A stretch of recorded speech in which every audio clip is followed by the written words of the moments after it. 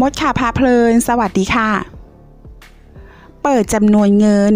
รายได้ของป้ามหาภัย แฉป้ามหาภัยตระเวนหลอกเกินคน รายได้อู้ฟู่อยู่ห้องเช่าราคาแพงลิฟนะคะ จากกรณีที่โลกออนไลน์ได้แชร์เรื่องราวมนุษย์ป้ามหาภัย อ้างกระเป๋าโดนกรีด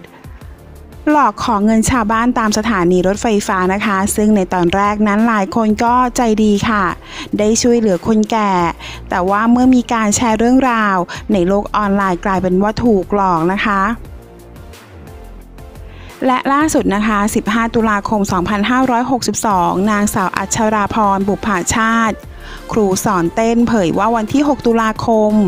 ที่นั่งรถไฟฟ้าใต้ดินบางซื่อ ป้ามหาภัย ได้เดินมาหาตนและถามว่าตนเป็นคนไทยใช่ไหม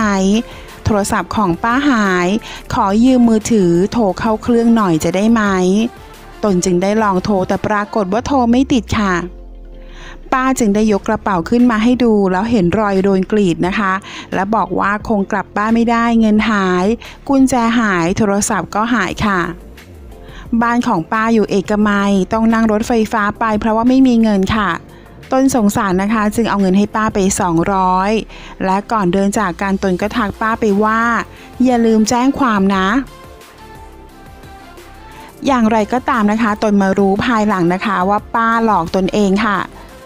ตนไม่เสียดายเงินนะคะ แต่อยากให้ป้าหยุดเอาความสงสารของคนอื่นมาหลอกเอาเงิน เพราะว่าจะทำให้คนอื่นเขาเดือดร้อนจริง ๆ ไม่ได้รับการช่วยเหลือค่ะ ด้านนางสาว ทารีรัตน์ศาสนสุพินหรือว่าลูกน้ำอายุ 23 ปี ผู้เสียหายอีกรายเผยว่าวันที่ 13 ตุลาคม ตนกับแฟนกำลังจะกลับบ้านนะคะ เมื่อมาถึงรัชดาคุณป้าก็มาถามตนว่าใช่คนไทยหรือเปล่า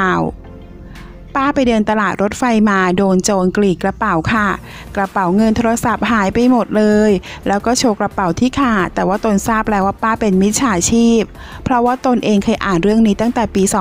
2558 ค่ะตนจึงแกล้งทำเป็นเชื่อป้า ขอให้ตนโทรศัพท์หาหลานสาว ตนก็โทรค่ะ แต่ว่าไม่มีสัญญาณนะคะ ตนจึงบอกป้าว่าไปแจ้งความกัน แต่ป้าปฏิเสธบอกว่าแจ้งไปเขาก็แค่ลงบันทึกประจำวันเท่านั้น และพยายามเดินหนีตนจึงบอกว่าตนรู้แล้วว่าป้าเป็นมิจฉาชีพ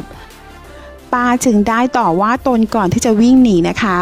ตนเองพยายามตามป้าไป แต่แฟนของตนรั้งเอาไว้ เพราะกลัวว่าจะมีคนของป้าตามมา จนทำให้เกิดอันตรายได้ค่ะ ด้านทีมงานได้ไปที่ห้องพักของป้าย่านลาดพร้าวนะคะ และเจ้าของหอได้เปิดห้องของป้าให้ทีมงานดูพบว่าคุณป้าหายไปตั้งแต่ 13 ตุลาคม ในห้องนั้นมีกระเป๋าเดินทางหลายใบค่ะ ถุงกระดาษ3-4ใบร่ม20 คัน เสื้อผ้าสีดำสมุดจดรายรับรายจ่ายนะคะคนที่ดูแลหอพักบอกว่าคุณป้ามาอยู่ที่นี่โดยขอเช่าห้องแบบรายวัน หากจะเช่ารายเดือนก็แค่เดือนละ 3,000 บาท แต่ว่าคุณป้ามาเช่ารายวัน ตกวันละ 500 บาททำให้ตกเดือนหนึ่ง15,000 บาทนะคะ เจ้าของหอเองก็ถามคุณป้าว่าเช่าแบบรายเดือนสิถูกกว่าเยอะ